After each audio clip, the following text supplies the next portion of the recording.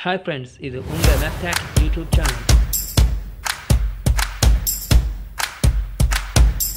மேக்டாக் YouTube சேனலுடைய மாணவர்களே இன்று உங்களை சந்திப்பதிட்டு பெருமகிழ்ச்சி அடைகின்றேன். இன்று நாங்கள் பதினொன்று தொடக்கம் தொண்ணூற்றி ஒன்பது வரையான வாய்ப்பாடுகளை இலகுவான முறையில் எவ்வாறு கண்டுபிடிக்கலாம் என்பதை நாங்கள் இன்று பார்க்கிருக்கின்றோம் அதற்கு முன்னர் உங்களுக்கு சில விடயங்களை நான் ஞாபகப்படுத்திக் கொள்கின்றேன். முன்னர் வீடியோக்களில் நாங்கள் ஒன்பதாம் வாய்ப்பாட்டை எவ்வாறு இலகுவான முறையில் கைவிரல்களை பயன்படுத்தி காண முடியும் என்பதை நாங்கள் பார்த்திருக்கின்றோம். அதனை பார்க்காத மாணவர்கள் கட்டாயமாக கீழே தரப்பட்ட டிஸ்கிரிப்ஷனில் அதற்கான லிங்க் தரப்பட்டுள்ளது. ஆகவே அந்த டிஸ்கிரிப்ஷனுக்கு சென்று அதனை பார்த்து கொள்வோம். மாணவர்களே நமது சேனலை இன்னும் சப்ஸ்கிரைப் செய்யவில்லையா என்?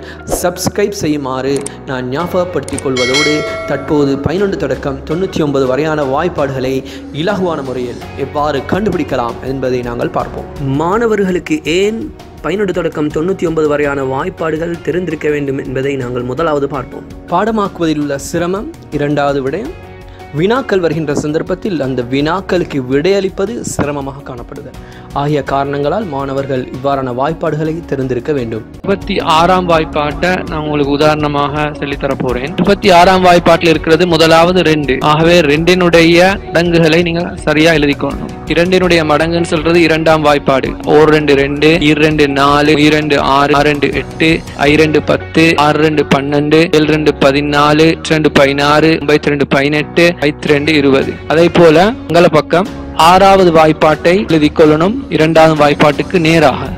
ஓராறு ஆறு ஈராறு பன்னெண்டு மூவாறு பதினெட்டு நா ஆறு இருபத்தி நாலு ஐயாறு முப்பது ஆறாறு முப்பத்தி ஆறு ஏழாறு நாற்பத்தி ரெண்டு எட்டாறு நாற்பத்தி எட்டு ஒன்பத்தாறு ஐம்பத்தி நாலு பைத்தாறு அறுபது எழுதி முடிஞ்சதுக்கு பிறகு கட்டாயம் ஆறாம் வாய்ப்பாட்டில் எழுதக்கூடிய எல்லா எண்களும் இரண்டு இலக்கங்களாக இருக்கின்றதா என்பதை செக் பண்ணிக்கொள்ளணும் உதாரணமாக ஆறு எழுதிட்டோம்னு சொன்னால் ஆகவே ஆறுக்கு முன்னால் பூச்சியத்தை இட்டுக்கொள்ள வேண்டும். அடுத்தபடியாக நாங்கள் செய்ய வேண்டிய வேலை இரண்டாவது வாய்ப்பாட்டில் வரக்கூடிய அந்த எண்ணையும் ஆறாவது வாய்ப்பாட்டினுடைய கடைசி இலக்கம் தவிர்ந்த எண்ணையும் கூட்டி முதலாவதாக எழுதி கொள்ள வேண்டும்.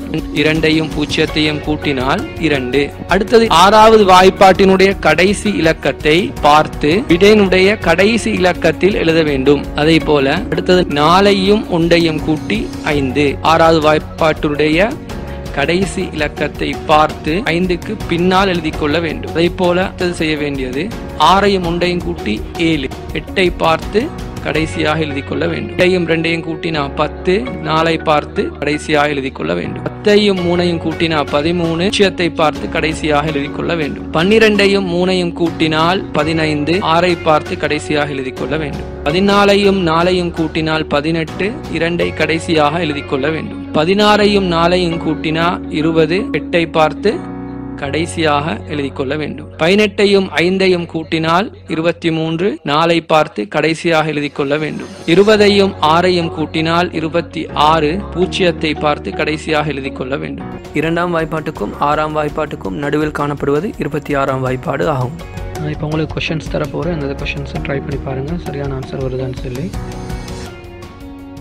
இந்த வீடியோ நிச்சயமாக உங்களுக்கு யூஸ் ஆயிருக்கும் என்ற பூர்ணமான நம்பிக்கையுடன் மீண்டும் ஒரு வீடியோவில் சந்திக்கும் வரை விடைபெற்றுக் கொள்ளும் நான் மஃப்ராஸ் நாளியர்.